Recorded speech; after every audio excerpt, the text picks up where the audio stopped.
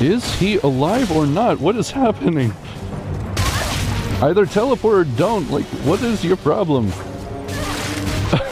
I think I got him in, in a teleporter loop.